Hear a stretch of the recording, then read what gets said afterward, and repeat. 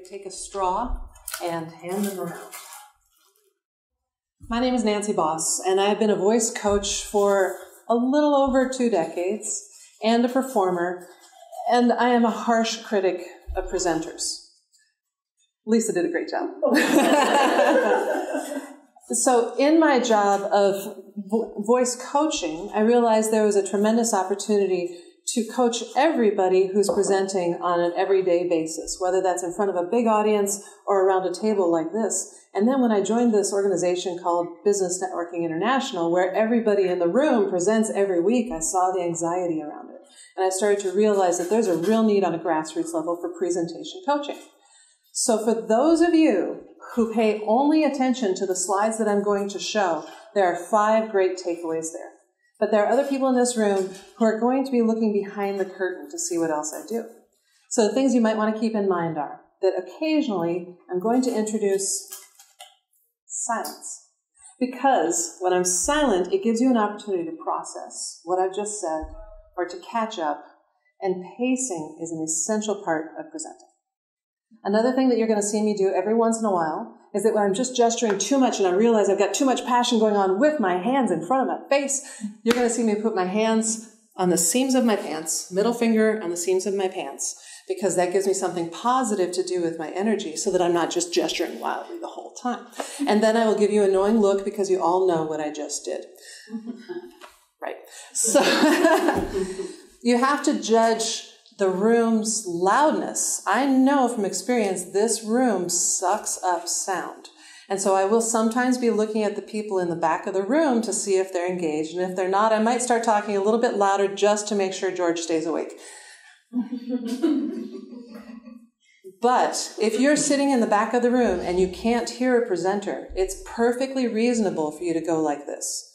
We appreciate that as presenters, knowing that we can't be heard. And not trailing off at the end of the sentence. I shouldn't do that either. So, we will begin. It is typical in a presentation to be advised to just give two or three points. What do you really want the person to take away from this? And what you're going to find today is that I'm going to present on five points. And five points in 20 minutes is just rude. I'm sorry. That's a lot for takeaway. The points that we're going to be talking about are mindfulness, authentic passion, stories, simplicity, and breath. You'll see that I'm going to break these three points up into two different sections. So starting with section one, mindfulness. Mindfulness is essential when you're presenting. So often you'll see presenters who are very mindful of their slide and they completely forget about the audience there or even wish the audience wasn't there because all they can look at is their slide. And you'll see other people that are completely in the future. Like, I know that slide number 23 isn't quite what I wanted it to be, and I'm on slide 12 right now, and I'm nervous about slide number 23. They're not present in that moment. Have you ever been driving down a road and you realize after a couple minutes you have no idea about the last four miles, right? You were so not in the moment. You were in your head. Obviously, you were safe because you're here today. But there are other times when we are incredibly present. When I travel, I hear every sound and I smell every smell and I see every color. Occasionally I do that here at home and I'm like, wow, why don't I do this at home more often? To be present in that moment. And right now, here with you in this talk, I'm trying very hard to be very present in the moment, not get distracted by my slides or anything else that's going on. That's what I would encourage with mindfulness. The next one is authenticity. If you're a little odd and you're a little quirky, that is highly memorable. Don't try to be the polished network TV personality if that's not who you are. If you can imagine somebody who's quirky that you love to see present, you probably each got a different person in your minds. That's perfectly acceptable and very memorable. So be authentic. People are fine tuned to detect if you are not being authentic. That's part of our human skill set that we're born with. For your audience to trust you, they have to see the real you. But an idea that Lisa gave me from her clothing that is so essential to this slide is that comfortable equals confidence. If I feel that I need to be bigger than this room can handle, and I'm going to use my great big presentation voice and puff out my shoulders a little bit. I am not even remotely comfortable, and I can feel my skin's a little prickly and my heart rate has gone up, and I can see in your faces you all just got a little uncomfortable. And that's a great example of comfortable equals confidence. Yeah. All right, and moving on to the third point stories. I had a pastor at my church who, during her speech classes in seminary, learned to become an amazing storyteller. In fact, it was her minor in seminary was storytelling. So when she came to our church, she was an incredible storyteller for children's sermons. And she would give the children's sermons to these little people that were so amazing. Those kids would be marching around the room and they'd be carrying props and they'd be so engaged and enthusiastic and it was really exciting. But after a couple years, she got really tired of having her skills just in children's sermons. So she started giving the main sermons and bringing that storytelling skill to the sermons, and it was so much more effective than just a dry delivery of content. I would highly recommend, no matter how dry your content is, that you include stories because you'll tap into your audience's emotions. And what we feel is what we remember. So, to review those first three, be present. Mindfulness while speaking is achieved by knowing your topic very well, knowing how you will present it, and not allowing yourself to be anywhere but right here. Now, those of you looking behind the curtain will notice that I just looked at the screen while I read that, and then I got tired of looking at the screen, so I looked at my computer, and for those five seconds, I wasn't present in the room. I was present in my computer, and I felt off track. I felt like, okay, wait, I got to get back to them, which isn't what you want to do during your presentations. So, as much as possible, have your presentations be flowing from memory or flowing from uh, complete knowledge of your topic. The next one is authenticity. Go ahead and be yourself. That's about all I can say about that. And then stories. Just include stories every chance you get. There's a really good idea that for every point that you give, there would be a story. And that's what I would encourage you to do. So moving on to the last two points. Simplicity is the ultimate sophistication. You like what I did there with the blank slide? Keep it simple. We've all heard that phrase. And boy, I don't know if I need to say much more about this, except we have a tendency, if we don't speak very often, to want to deliver it all. Like, oh, I've got so much information to share. But the simpler you keep it, the more that the audience will retain. It's an inverse relationship. So if you're not sure if you should include some information or a slide, just don't. Give them a chance to follow up with you later if they want more information. And finally, breath. When we breathe, our audience breathes with us. That's not a quote from anybody except for me. This is a guiding principle in my life. As a performer, I control my audience's breath. As a speaker, whether you are speaking to a small room or a big room, you control your audience's breath. For example, I'm going to go really high up into my breath right now. I'm going to speak in the top of my lungs and a little bit too fast. I'm going to take quick little breaths and then I'm going to move on to the next topic. You not only have a hard time following me, but some of you actually feel the change in your own throats. That was beautiful. She's like getting smaller and smaller. and you've all had professors or teachers along the way. Yeah, a little too much breathing going on. So just be aware that this is an actual metric that you can control in your audience is their breathing. You can set this as your goal. I know my talk. I know what I'm going to talk about. I'm a little bored. I've given this topic five times before. You know what I'm going to do is I'm going to mess with their breathing. And for a little while, I'm going to talk up in here and see what happens. And you'll start to see physical reactions. It keeps you as a speaker a little bit entertained. But even more importantly, it touches into the emotional core of that person. And if you can get people to breathe relaxed and confident, but not, not so relaxed that they're asleep, then they're going to take more of the message home. They're going to like you better. They're going to follow you better. So, those two points simplicity, remember the inverse relationship, and breath, controlling your audience's breath by controlling your own.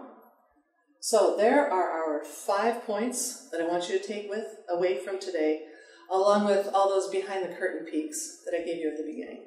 Let's see what time we got here. Oh, we've got so much time. Good. So what we're going to do next is with these straws.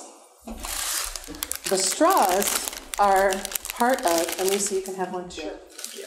The straws are part of what we call semi-occluded vocal tract exercises in voice therapy, also known as straw phonation.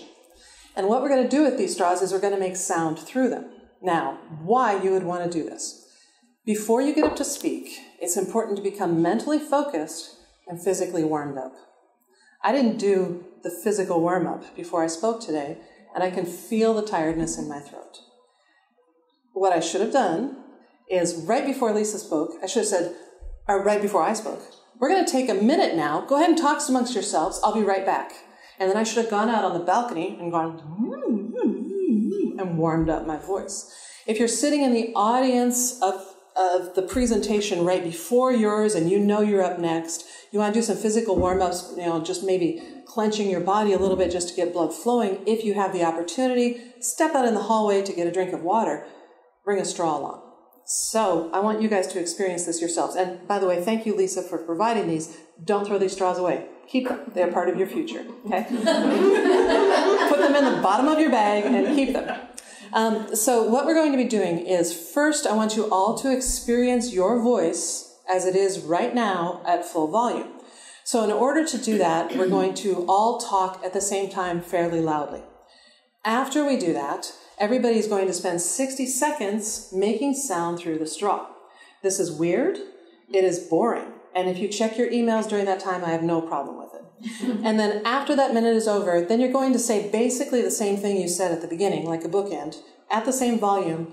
And kinesthetically, within your own body, I want you to notice how it feels different. And externally, I want you to notice how the room sounds different. Okay? This is the best warm up tool in the world.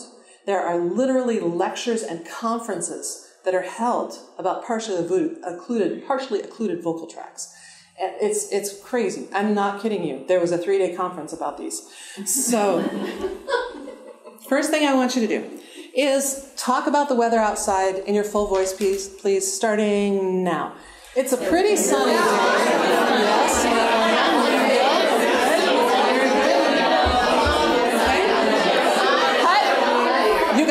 Awesome. Thank you. Sometimes groups are so shy about that. I want you to do that one more time, and this time I want you to feel what your throat feels like, what your breathing feels like. Is your voice effortful? Does it sound rich or not? So, again, please go. The weather is sunny and cloudy.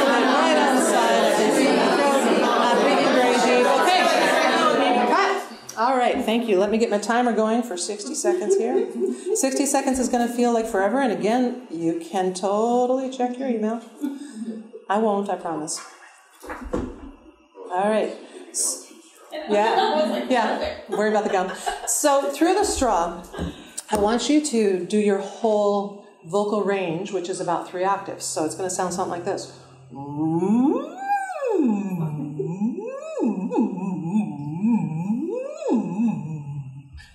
Please do hold the straw. It clenches up your teeth and your jaw. So please hold the straw, and here we go. They call it the hive for a reason. It's a bunch of bees.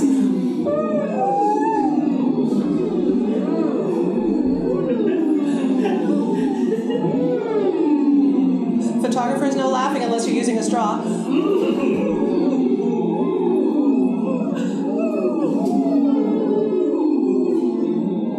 We got a long way to go. That's 30 seconds. Do you feel how your breath is strong and lower, you're actually using your abdominal muscles. Try to be loud, try to be quiet. Notice how it's different. 20 seconds.